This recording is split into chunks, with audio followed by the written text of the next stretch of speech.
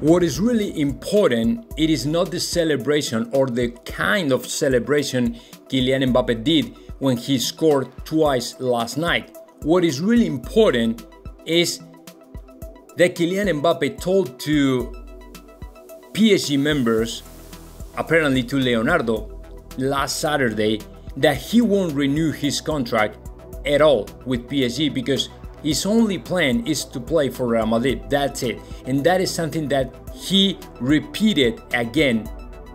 I mean, yeah, apparently in a kind of one on one meeting or something like that to Leonardo. He said, I won't renew my contract. I won't I won't renew my contract next year because what I want to do is to play for Real Madrid. So PSG, Paris Saint-Germain is aware right now that the player hasn't changed his mind at all. His main purpose, his main idea, his main target right now, it is Real Madrid. And to play in Real Madrid, that's it. So there's nothing they can do about that.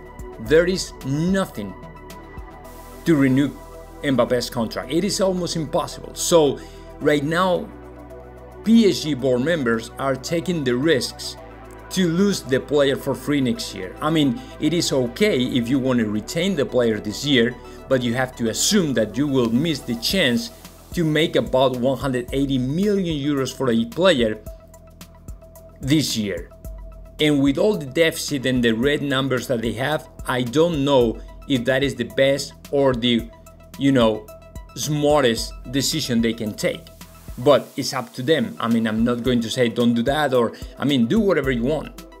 But you have to be aware that you will miss a lot of money, a lot of money for a player that will be free to negotiate with whoever he wants as of next month of January. So it is up to them. I don't know what are they going to do though, but to me, in the last moment, I think that they are going to change their mind and they will try to negotiate for Kylian Mbappe.